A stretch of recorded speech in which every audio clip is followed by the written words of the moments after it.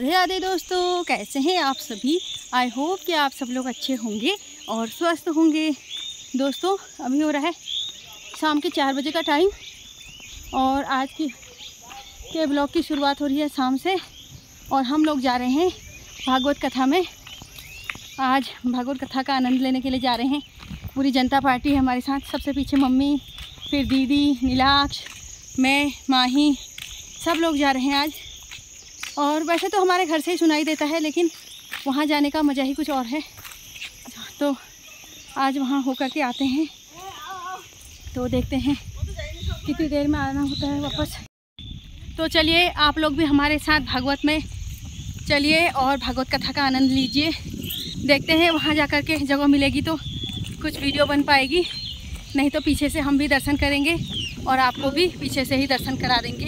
क्योंकि गाँव में भागवत कथा कभी कभी ही होती है तो भीड़ बहुत ज़्यादा होती है।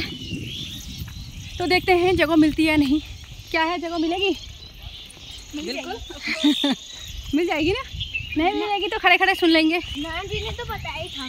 दाद नानी तो पीछे ही रह गई वो। नाना जी ने बताया था नाना जी ने बताया था क्या बताया था नाना जी कि कि यहाँ से सड़क सीधे जाइयो हाँ। और एक साइड में टेंट लगा होगा। हाँ। वो तो हमें पता है कहाँ पर जाना है। चलो देखते हैं अभी मिलते हैं आपको भागवत कथा में। रघुकुलमणि